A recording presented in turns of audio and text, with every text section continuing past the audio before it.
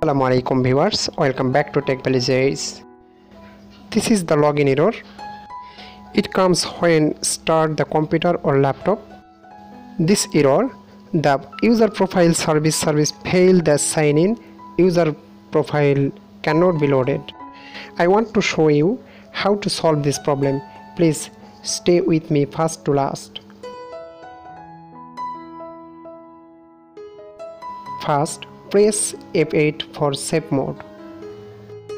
Then safe mode with networking and loading all the Windows file and wait for finish.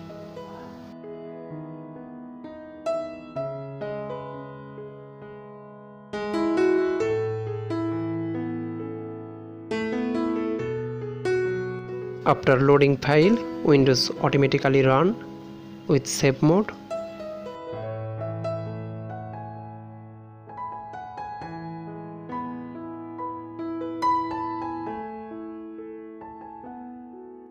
Go to start search box write regedit right click regedit and run as administrator.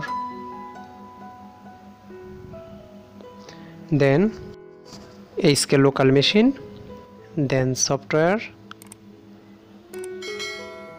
then Microsoft then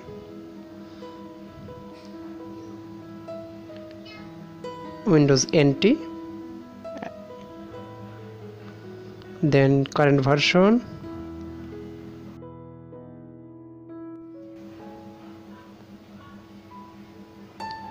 and finally I check the profile list folder. Click.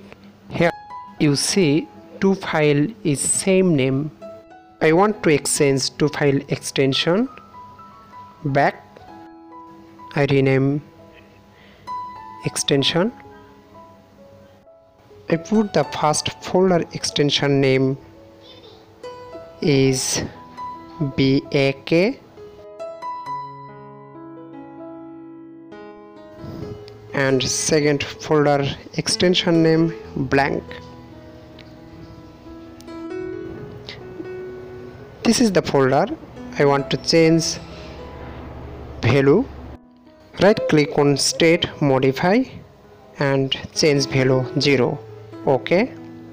And then I want to see RefCount 0 ok then exit and restart the computer